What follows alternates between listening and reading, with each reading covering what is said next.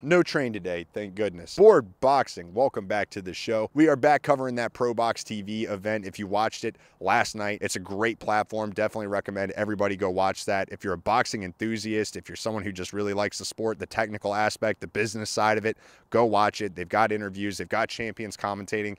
Can't recommend it enough. But let's get into it, man. So Castaneda versus Gonzalez was the headliner for the Pro Box card last night, and this was a great fight. This was a really entertaining fight. You had Gonzalez, the southpaw versus Castaneda, the orthodox. And it, it was a it was a clash of two different styles. Castaneda, someone who loves to stalk the prey, go for it consistently, kind of cut the ring off, versus Gonzalez, who has got this kind of ability to where he can throw the quick shots and get away, but he also is not afraid to sit there and go 50 50 and trade with you. So it was a really entertaining night. And if you had watched the first four rounds of this fight and couldn't go any further, you would just assume that Gonzalez just had his way with Castaneda the entire night. The momentum shift that happened in the fifth round beyond that was crazy. Castaneda came back from the dead after being knocked down in the third round from a vicious right hook. Well, really, I shouldn't. The right hook uh, wobbled him and then really uh, Gonzalez kind of pushed him over. He threw that straight left that was uh, landing all night, let's be real. But after he rocked him with that right hook,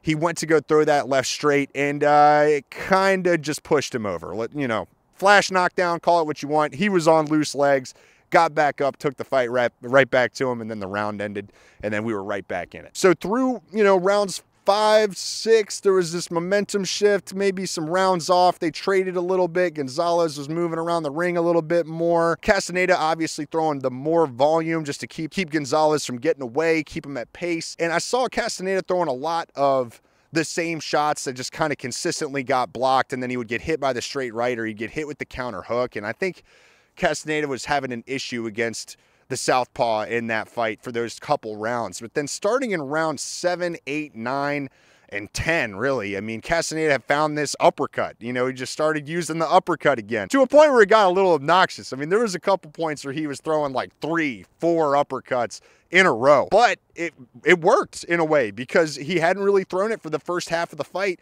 He starts throwing it in the later half, and uh, Castaneda is kind of uh, uh, almost similar style to a lot of other fighters that have this late stage kind of energy boost, this second wind. He was just not phased. He just kept going. Gonzalez, you could tell, was really starting to tire out. Towards the eighth, ninth, tenth round, even, he was starting to clinch a lot more to get away from it.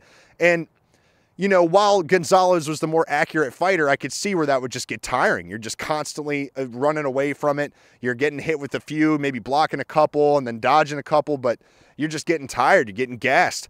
And Gonzalez maybe even took his, you know, his foot off the pedal for a little bit and thought he could kind of coast through some rounds. And Castaneda being a game fighter and being that this was, you know, Pro Box TV where these guys are fighting a lot of the same guys, making returns back. He wasn't having it. He wasn't having it. He came back, he fought for every little bit of it. Gonzalez just took too many of the early rounds, plus that knockdown to make it really worth it. I think Castaneda ended up winning round six, seven, eight. Jeez, I mean, he, I think he even won round nine, but then round 10, it was kind of a stalemate there. I don't think he really did enough to win round 10. You could argue a, you could argue a swing round on round five, in my opinion. Uh, both, both fighters great. And, and for a Wednesday night of boxing for free on YouTube or on the Pro Box TV app, I mean, I, I can't complain about this at all. The in between the rounds is great. Real ones will know what I mean. Great fight, great all around fight. Gonzalez had definitely earned the W. It was a war, it was a brawl.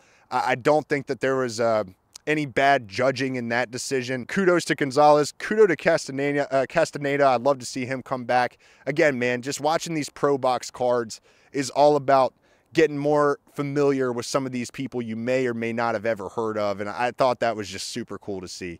Uh, over the last three cards that I have been able to watch, after hearing the commentary from these guys, I feel like I'm so much more in tune with with what's actually happening in the sport, and uh, couldn't be more thankful for this platform. So go watch ProBox TV if you haven't, and uh, yeah, that's all I got.